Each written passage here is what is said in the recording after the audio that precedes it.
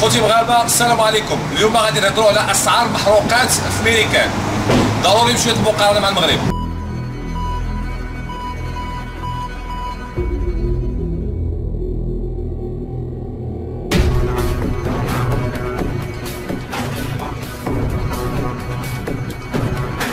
ميريكان اغلبيه أول حاجة. ميريكان كلشي كيدير ليسانس راسو. أغلبية المحطات كدير ليسانس راسها عندنا regular وعندنا ال plus وعندنا ال premium.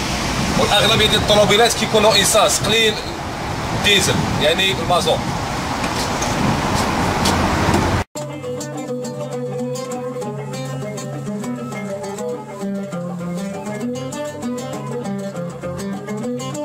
المقاصة هي لعبة أو خدعة. في 2011 كان سعر البرميل 111 l'essence كان في المغرب 9.90 الآن سعر البرميل زاد 48 بل 38 l'essence باقي 9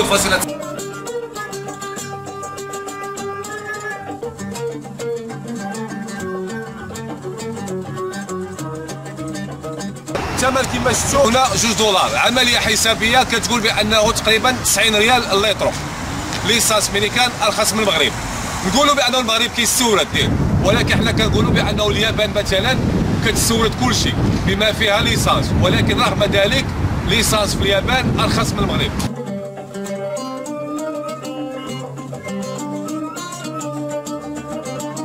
إطار المنافسة مول بوبات ليسانس ديما كيطيح شوية الثمن دون أن يتجاوز سعر السوق الذي يحدد بالعرض والطلب.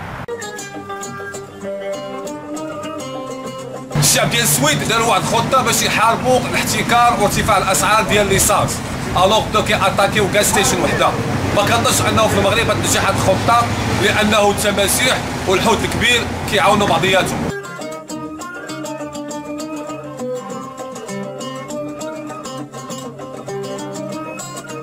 في المغرب هناك ما يعرف ب oligopoly وهي الاتفاق على السعر مسبقا على سعر واحد مسبقا هي عملية شبه قانونية ولكن ممكنة تكون سرية ولا يعلن عليها. وتكون ممكنة في الصناعات المحدودة المنتجين بحال أوبيك بحال صناعة الأسلحة.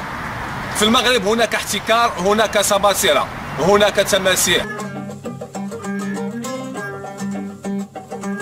في ميريكان الثمن ديال ليسانس كيتبدل من حي لحي من مدينة لمدينة من ولاية لولاية. بل حتى من زنقه كان كل بومبات l'essence كتلقى ال manager كل صباح كيدور في ال secteur كيقارن الأسعار وكيحاول يطيح شوية. الربح ديالو كبير هو في ال supermarché الصغير اللي كيكون في ال gas station.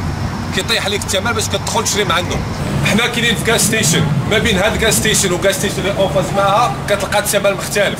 أي واحد يمكن يدير gas station ويسميها بالسميه اللي بغا. جونز ولا إدوارد ولا anything ياك.